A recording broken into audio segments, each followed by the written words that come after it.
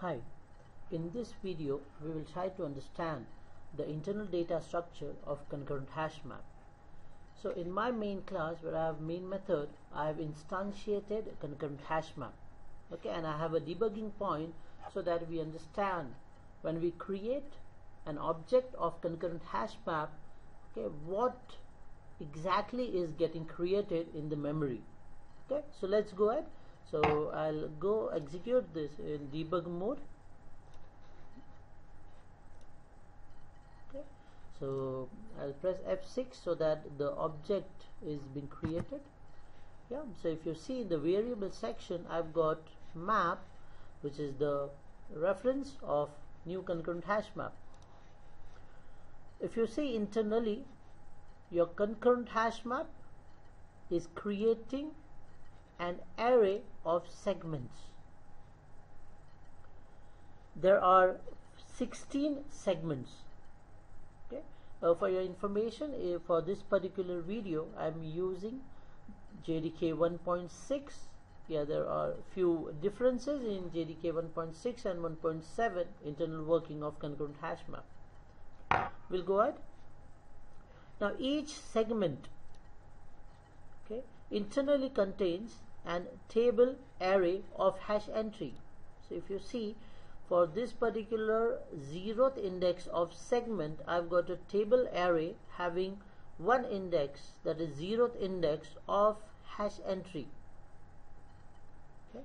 If I'll go to the first segment inside the first segment too I've got a table array of length 1 that is zeroth index which is of hash entry so like my concurrent hash map is an array of segments which internally or each array element contains an array of hash entry. Okay. So let's go ahead and see the concurrent hash map class.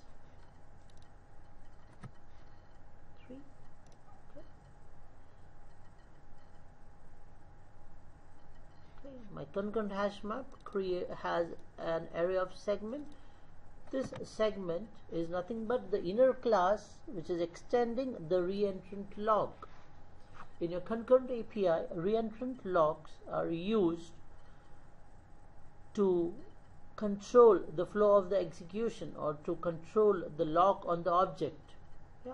now this segment static inner class internally contains hash entry array. So what is this hash entry?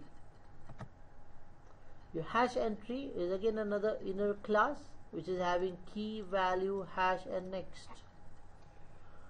This hash entry class of concurrent hash map is somewhat similar to the entry class of hash map.